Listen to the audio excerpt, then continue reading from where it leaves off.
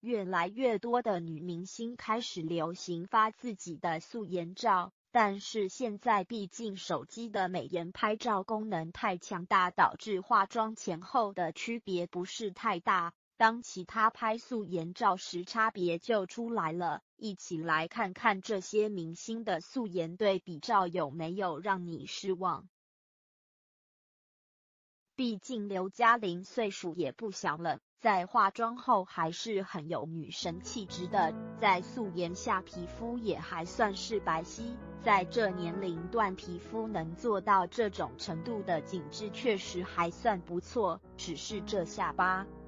之前的吴莫愁几乎一直都是浓妆艳抹，其刘海的造型很多都认为真的非常丑。其实素颜下的吴莫愁五官还是可以的，最近不知道是不是换了造型师，在发型和妆容上都可以走清新路线了，这种感觉比之前的浓妆艳抹好受多了。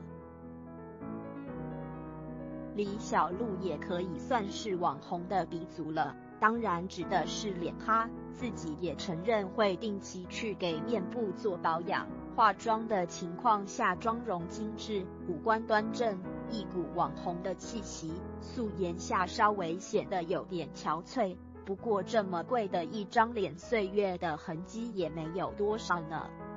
林志玲也是大家多少年里的女神。高挑的身材，精致的面容，现在四十多岁能保持这个状态已经还算不错了。素颜下的她变化也不是特别大，只是显得面部有点浮肿，没有光泽。谢娜给大家带来的总体影响就是我们的开心果。非常喜欢笑，所以在谢娜的素颜照中可以看见比较多鱼尾纹，颈纹也比较深，皮肤稍微的有点暗沉。素颜下的丫丫五官也是不错的，至少化妆后能很清楚的看出是化妆后的她。化妆后的她真的非常美，也不知道当初出轨的那位是怎么想的。杨幂是出了名的美少女，皮肤白皙，五官分布的很端正，素颜下的她也能看出有不错的底子，稍微化上妆容就美的不要不要的。姚晨生完孩子后恢复的非常不错，很快回到了当初的状态，化妆前后差别不是很大，从素颜照中能看出很明显的眼袋黑眼圈。看来家里的小家伙没少让她操心啊。景甜属于那种非常温柔可爱的女孩子，经常会和粉丝互动，转发粉丝的博文。